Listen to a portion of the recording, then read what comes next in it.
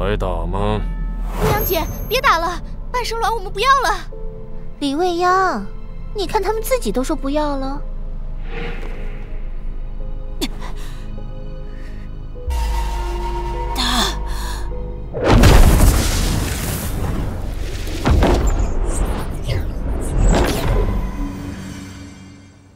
你输了。继继续。在坚持什么？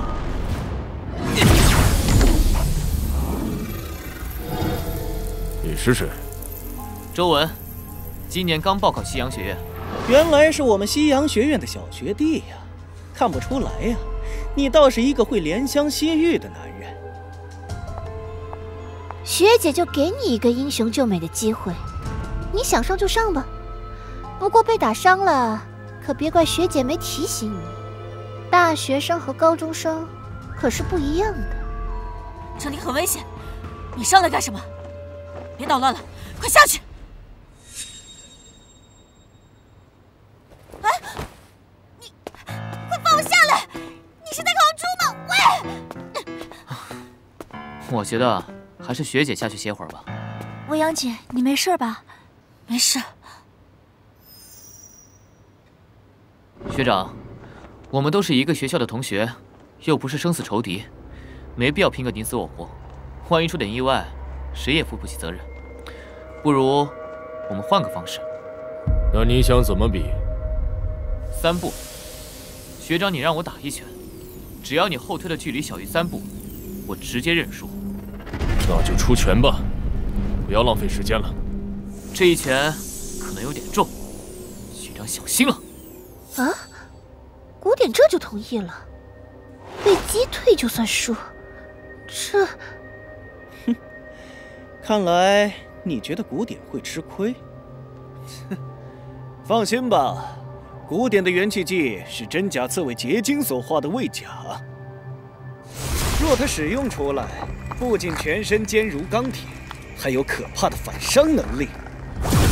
更何况他已经把卫甲修到了九段。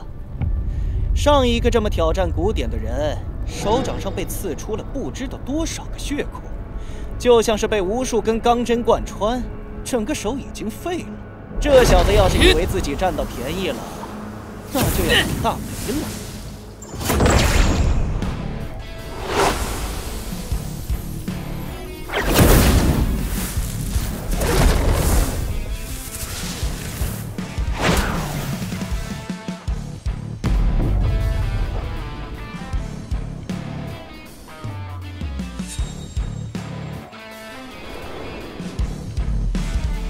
承让了，学长。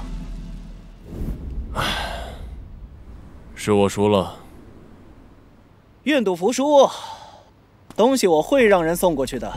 凭什么？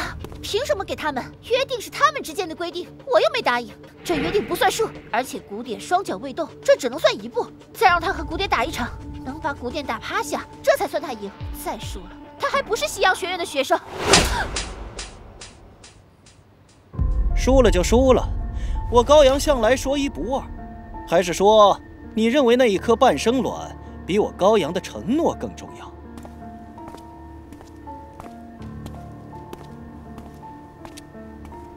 周文是吧？我记住你了。既然你以后也是西洋学院的学生，那我们以后有的是时间，慢慢相处。哇，好厉害啊！现在的高中生都这么强的吗？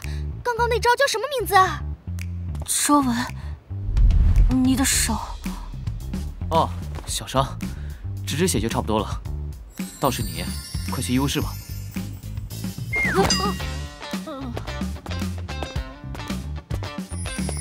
李玄那小子的朋友里，竟然还有这种人啊！